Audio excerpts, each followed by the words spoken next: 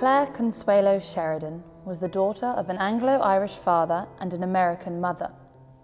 Raised mainly in England, her education involved private governesses, a Paris convent school, and a German finishing school. But she treasured her informal education in the countryside around the family estate in Inishannon, County Cork. She was a sculptor and a journalist, and it was her journalism which brought her to Dublin in June 1922.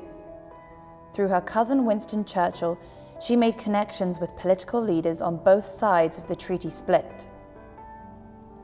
Clare was determined to get an interview with the anti-treaty leader Rory O'Connor inside the occupied Four Courts. Her book, In Many Places, published the following year, describes the encounter.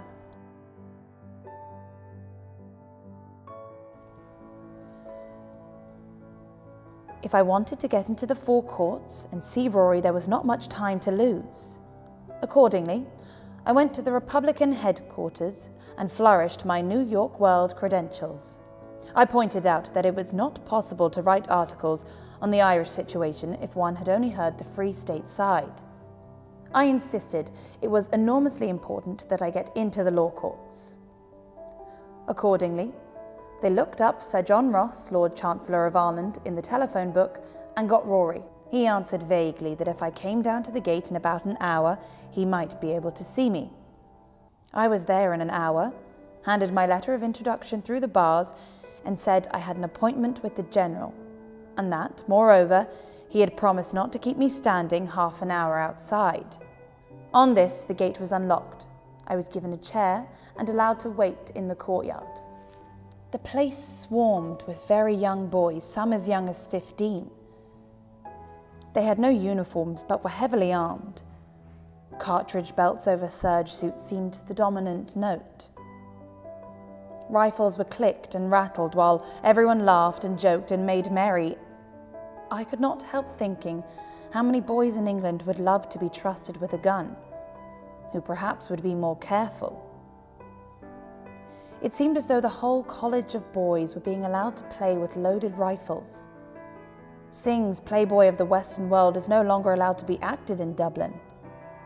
The Irish have grown super sensitive, but here they were, armies of playboys, playing with fire, the real playboys of the Western world. After a long wait, I was led across two courtyards full of lorries and armoured cars one inscribed in big white letters, the mutineer. In the heart of a building, we climbed a wide stone stair.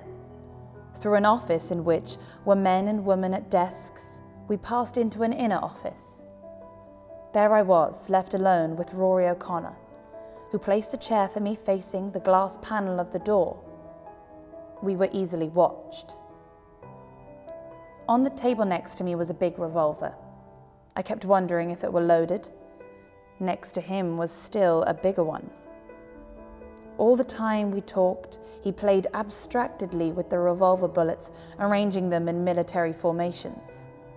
He talked in a very deep voice and very slowly and deliberately.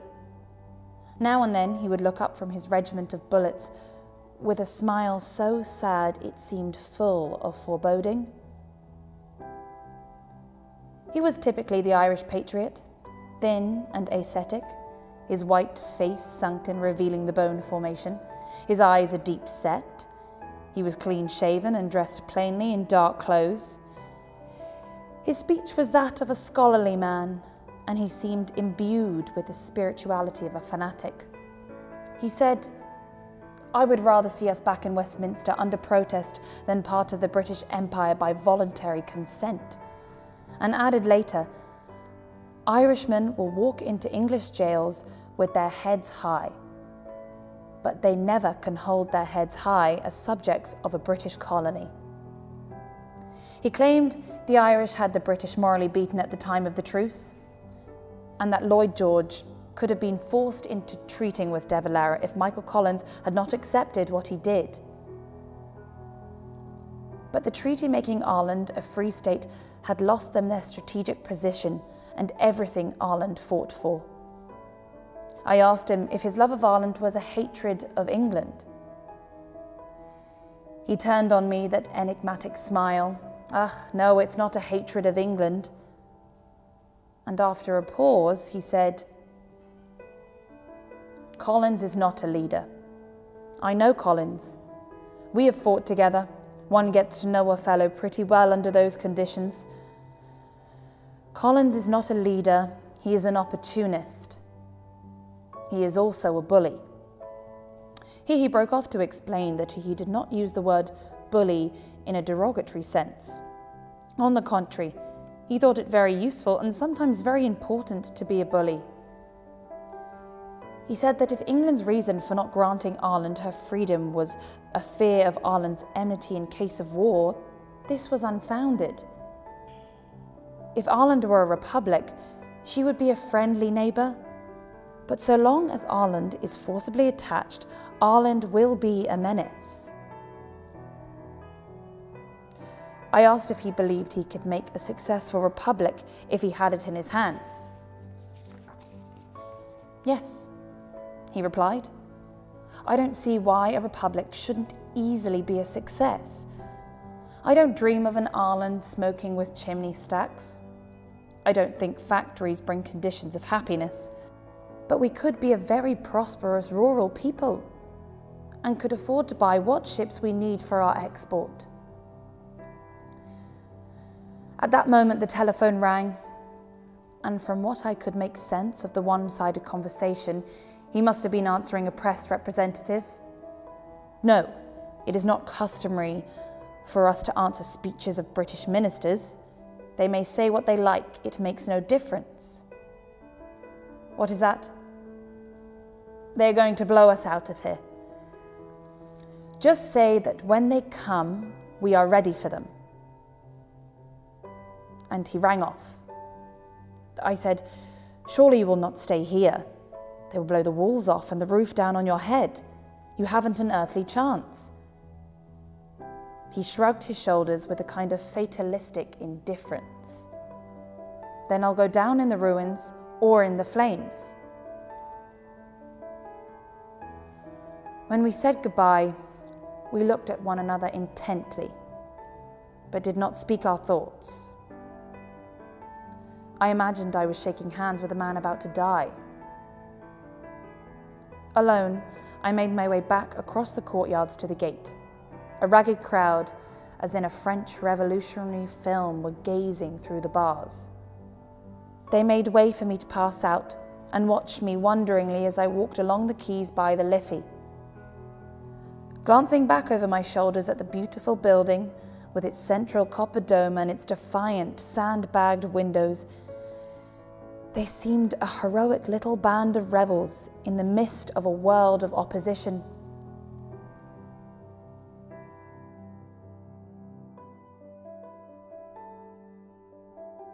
Wednesday, 27th of June, 1922.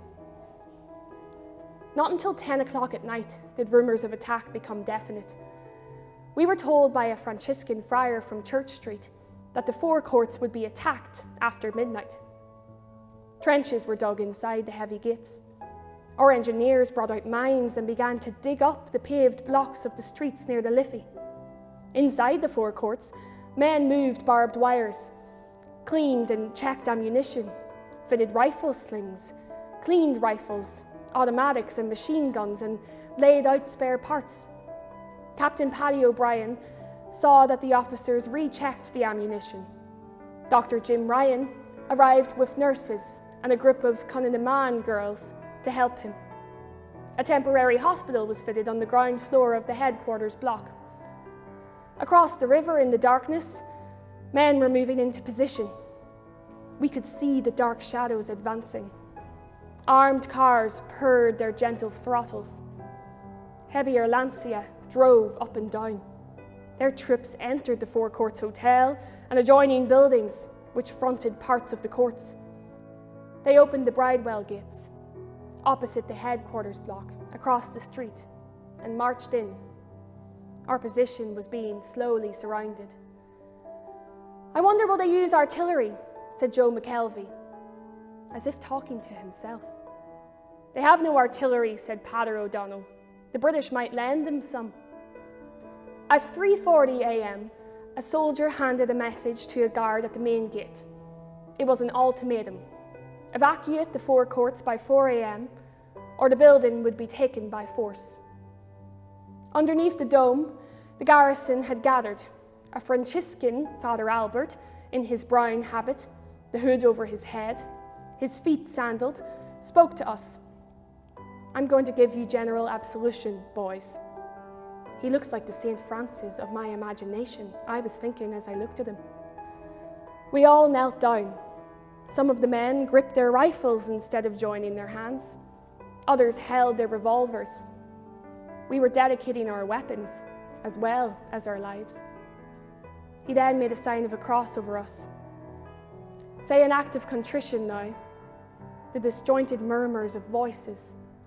Oh my God, I am heartily sorry for having offended thee. Then the priest pronounced the absolution. Ego te absolvo. I looked at my watch nervously. The minutes were slow in coming. Would artillery fire shake my knees in confidence? And would I disgrace my section? Time's up, said Rory. And as he spoke, a machine gun from outside echoed across the night.